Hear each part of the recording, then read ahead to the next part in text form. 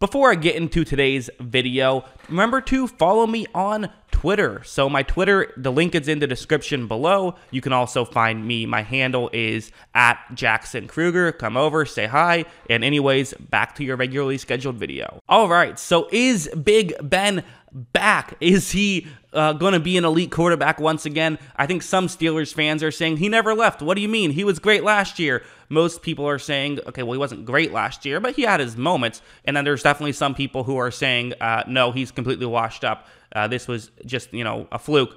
I-, thought he looked good. I thought he looked good out there, and he looked maybe better than he did towards the end of last season, at least. So, again, uh, I think that I think a lot of his issues last year were a bit overblown. I mean, he was legit a fringe MVP candidate like midway through last season, kind of like a dark horse MVP candidate. People felt like if he, you know, if a couple guys fell off, maybe he could get in that conversation. Didn't work out that way, but he was, certainly wasn't a problem, and they didn't win as many games as they won in spite of him. Although, again, he did have his bad moments. So uh, let's get into the film study and talk about, again, not last year, but this year, the preseason, what he did well. Let's just jump into it. So we'll start things off with this play. What's going to happen is that uh, you see that this is a fun one. So this is something where the left tackle, one-on-one blocking a Detroit Lion. You might be wondering why on the world am I highlighting a block? Aren't I supposed to be talking about Big Ben here? But just watch for it. And again, is this the you know play that's making me say Big Ben is back? Not really. Is it fun? Absolutely. So Roethlisberger takes the snap, and you're gonna see that. Okay, so you know, good move by him, right? So there was pressure along the edge. He stepped up in the pocket, was able to get around it. Now he's getting ready to throw the ball. This was all good.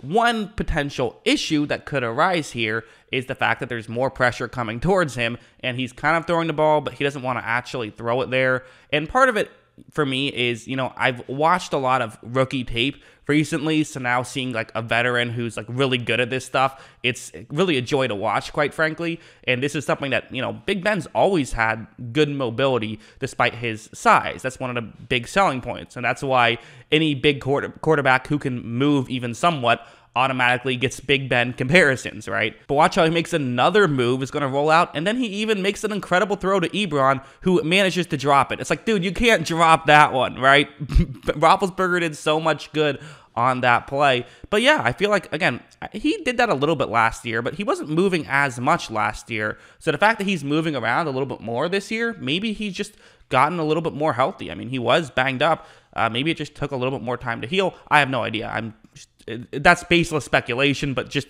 just some away, somewhere that my mind went when watching that. But you know, it was very fun. This play was awesome. So one thing that I've kind of fought back a little bit about during the offseason was the whole Big Ben's arm is shot narrative.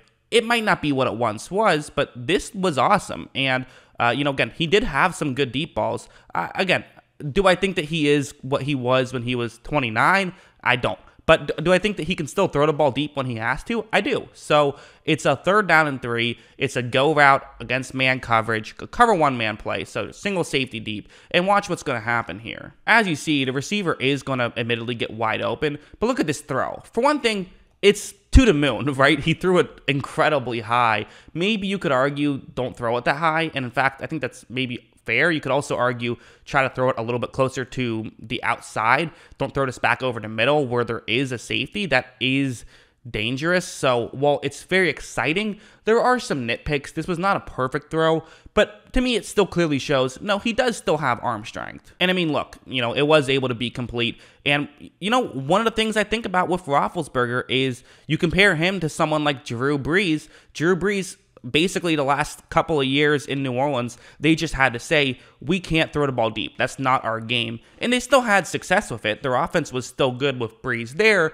but would have had more success with the deep ball. With Roethlisberger, the deep ball can still be a part of his game, which is great because, you know, really hard to make an offense work when you don't have the ability to make those chunk plays. And one thing I thought of as well is something like this. So, last season we saw a bit of you know game manager Ben Roethlisberger, which we've never seen before. That's not something people would call him in the past, but something like this is a great example of him being that game manager type and using sort of the fact that he's been in the league for as long as he has to his advantage. So it's going to be zone coverage. You have, you know, you see the concept where multiple player. This is what I believe it is. It's possible I'm wrong because again, I don't have the all 22, but uh, you have multiple receivers run deep. Then a tight end kind of runs underneath Eric Ebron. And with the play action, the hope is that linebackers come in, and then if they do, you sort of throw over the top of them. And, you know, with multiple players running deep, there should be a big gap where Ebron could get wide open. However, watch what happens. So look at the linebackers. They read this well and they drop back well. Your uh, just so you know, I paused it. Your phone did not break. Your computer did not break. Uh, and so at this point, you know, Roethlisberger can't really throw it the way he wants to. And let's be honest, we've seen Big Ben over the years maybe make some throws that are a bit gunslingery, maybe some throws he shouldn't make. But he really, since he came back from that injury, he's gotten a lot more, you know, smart with his decisions. He hasn't been that gunslinger that we've seen in the past. And I wonder if just sitting out a season, he kind of re- realized the value of not always forcing the ball into double coverage. And look, he's just going to check it down to Najee Harris here. Uh, I can't show the entire play because it'll be a copyright, but this was the play where Najee Harris had a big run and actually gained a ton of yards. So someone like Najee Harris being in the game, this is what made me think, oh my goodness, this could be a great combination, uh, similar to Brees and Kamara down the stretch. Again, I don't want to put too much, uh, you know, emphasis on Harris because he is still a rookie, but it gives you some hope that potentially Harris could uh, you know, get a ton of those plays and be an upgrade from what they had in the backfield last year. I really think it could be a big deal. And then you have something like this. So it's going to be zone coverage. You have Freiermuth running over the middle, and watch what's going to happen. First, you're going to see Ben give a little head nod, which kind of gets the safety out of position a little bit. So now it's just a one on one matchup because the safety moved in. Uh, also, just a bad play by the safety. But what's going to happen now is this is going to be a little bit difficult because it's a very tight throw. I mean, this is going to have to be a perfect throw. And also, he's throwing it a lot harder than he's thrown some of these other balls. But still, watch what happens. I mean, this is just a perfectly placed ball. You could not ask for anything better than that. That's exactly where he wanted to put it. He got it there. Just, just great stuff by Roethlisberger, I would say. So yeah, that's kind of how I feel about Big Ben. Listen, uh, for one thing, it's just you know seeing him on the TV screen. We all you know someone my age. I grew up watching Big Ben uh, on Sundays, so it's it's cool to see him back. And I think uh, again, uh, it would be interesting to see if the Steelers could be good. I do think that they kind of want to go all in here, one last ride with Roethlisberger, and so far it seems to be looking okay. Uh, this team does look pretty good. I think the demise of the Steelers is uh, you know greatly exaggerated. I think that they could be okay. Uh, that's what I think. What do you guys think? Let me know in the comments below. Always love hearing from you. And of course, as always, thanks for watching.